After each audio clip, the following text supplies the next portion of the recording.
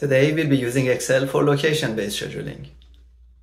In a previous video, we discussed the foundations of location-based scheduling and line of balance or LOB for repetitive project activities. The link to that video can be found in the description below. Now we want to use Excel for our scheduling problem. We'll work on a dynamic template for a railway construction project, introduce two rules of thumb for finding optimum activity buffers, and use scatter plots in Excel for line balancing. You can follow along by getting the Excel workbook via the provided link in the description below. Let's focus on planning a railway project with 6 activities for which a minimum buffer of 4 weeks is required between activities to prevent time clashes and also site congestion. We can follow only 4 simple steps in Excel to perform location-based scheduling for our example based on the Project Management Body of Knowledge or PMBOK. Step 1 is to calculate activity durations based on their production rate. Let's start by analyzing the provided spreadsheet, accounting for 6 activities in a railway construction project with a total length of 300 kilometers. The first activity of surveying and site preparation has a production rate of 34 kilometers per week. We can find its duration by clicking on the relevant cell and pressing the equal sign. Then select the total length of 300 kilometers and divide it by the production rate of 34 kilometers per week to find the duration of almost 9 weeks for the activity. Please note that the numbers are rounded up and we can follow follow the same procedure to find durations of the remaining activities. The durations in weeks are 20, 15, 30, 43, and 20 weeks.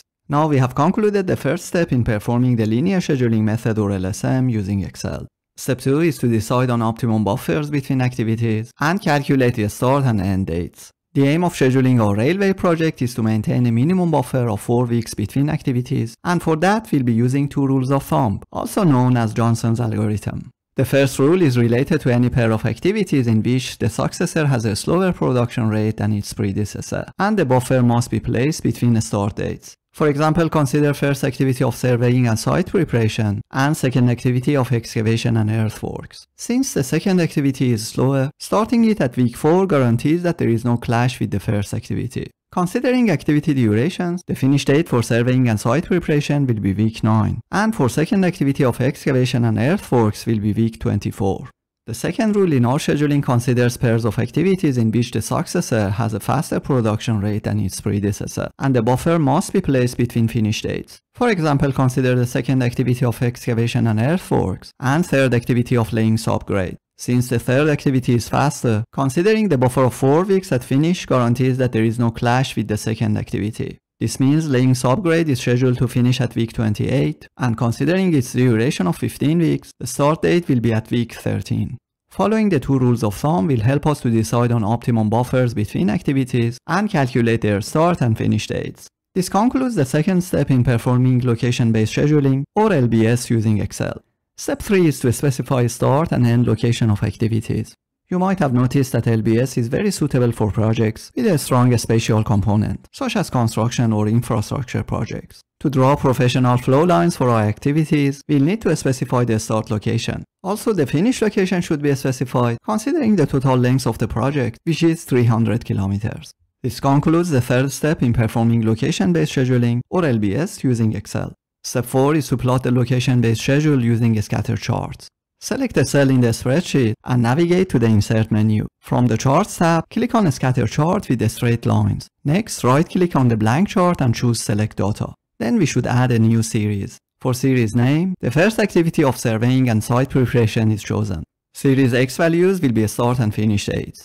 Series Y values will be start and finish locations. Finally, press OK and continue the process for excavation and earthworks, laying subgrade, track laying, electrification, and signaling and communication setup. We can enhance the chart visualization for a better appearance on professional project reports. Navigate to the Design tab in Chart Tools, and from the Quick Layout menu, select a suitable layout such as number 10. We may label the vertical axis as activity location and the horizontal axis as activity time. The flow lines clearly show that there is no temporal or spatial clash between the activities since the optimum buffer has been maintained at all times. This concludes the fourth step in performing location-based scheduling or LBS using Excel. This scheduling method has numerous benefits, including minimization of total project time, maximizing resource utilization, and simplifying complex scheduling problems. By optimizing the buffer placement, it reduces costs, improves production flow, and enhances decision making.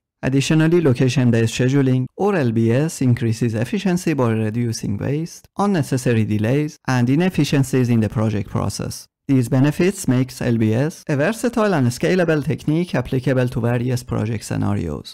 And here it is, an easy solution to location-based scheduling using only four simple steps in Microsoft Excel. Again, you can access the Excel workbook via the provided link in the description below. To watch more videos like this, please consider subscribing and I hope to see you in the next one.